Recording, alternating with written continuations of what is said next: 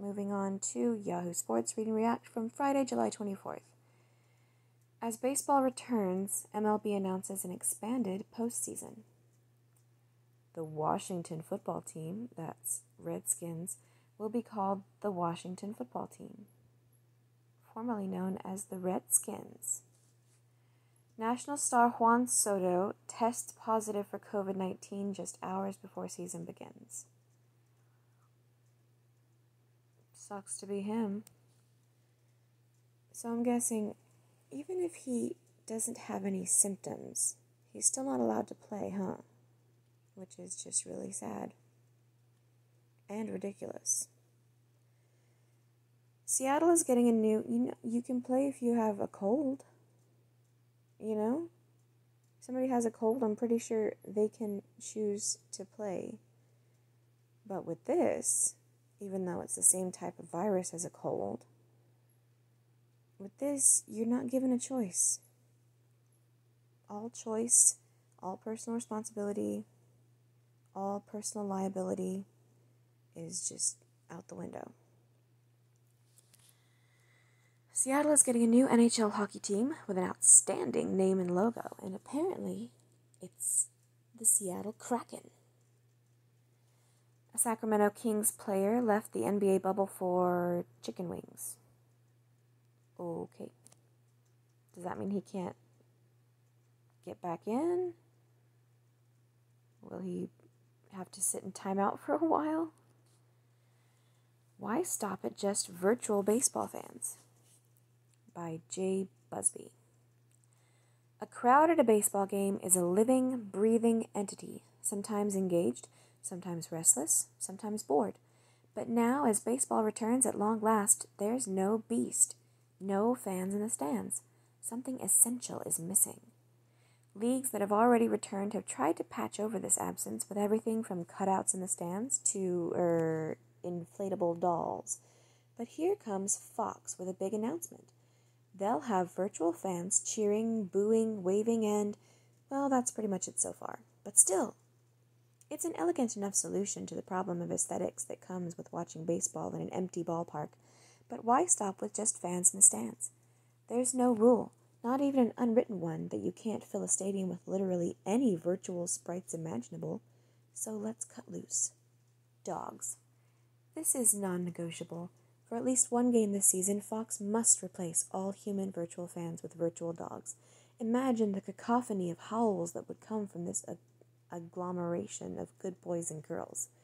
12 of 10 would recommend. That's retarded old Hall of Famers. This is a suggestion from Yahoo Sports baseball writer extraordinaire Mike Oz. I'm sure that Yahoo Sports has any sort of extraordinary writers.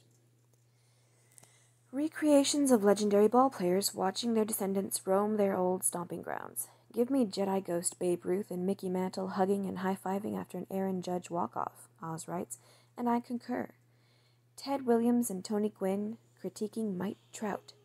Mark McGwire and Sammy Sosa watching Bryce Harper's homers and smiling. Sandy Koufax and Greg Maddux pointing at Clayton Kershaw and laughing. The possibilities are endless. Eh. Costumes. Fox is already boasting of its ability to outfit the fans in the home team's colors. That's great, but why stop there? Have Christmas in September. Outfit everyone in Halloween gear in late October. When it's 70s night, the stadium ought to look like Studio 54. Every day can be a Comic Con dis- cosplay event.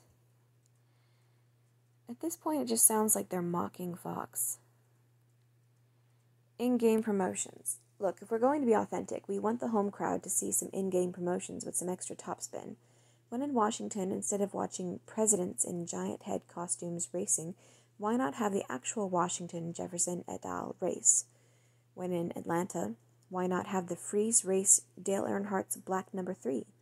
Instead of cheerleaders firing a cannon that shoots out hot dogs, why not have hot dogs firing a cannon that shoots out cheerleaders? Think big here, folks. Oh my goodness. Virtual fans acting like real fans. Okay, sure, I get it. You want to have fans cheering and booing and doing the wave and all that. But when have you ever seen baseball fans acting in a completely coherent and rational fashion for nine innings? We need to see virtual fans doing the wave at the wrong time, getting into virtual fights, cursing little virtual cusses at virtual moms trying to cover the virtual ears of virtual little kids. Oh my goodness. We want virtual ushers hauling virtual fans out of the expensive seats they've snuck into. Virtual goofballs spilling virtual beer over the row in front of them. I want to see some virtual shirtless moron fall asleep in the bleachers and get himself a virtual second degree sunburn. Authenticity. It's within our reach. Aliens. Most cheap seats are already a wretched hive of scum and villainy, so why not go full Star Wars cantina? Put aliens, zombies, velociraptors, and dwarves out there. Have a dragon and a kaiju looming out behind the center of field wall. Tradition? We're in the entertainment business now, friends. Let's do it, Fox. This will be the strangest baseball season in history. Only right it ought to get weird in the stands, too. Paler. Despite the Washington name change, more to do.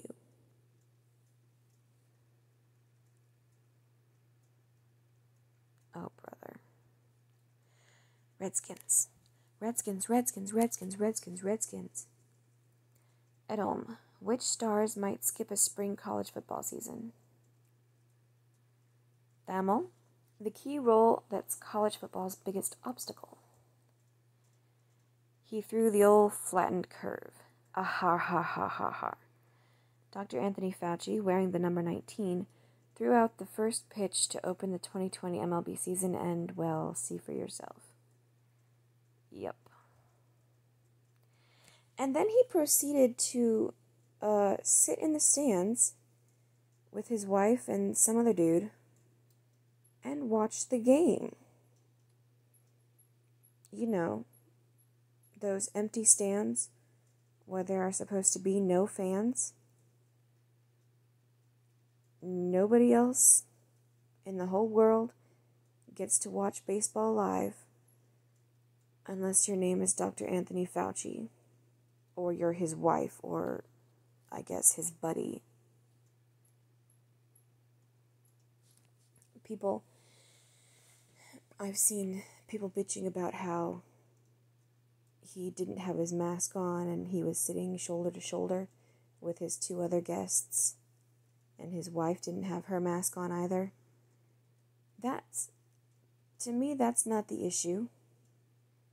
It's just the the fact that he got to be there at all, watching the whole game, when nobody else in the world gets to do that. That's what's fucked up. Follow Yahoo Sports on social.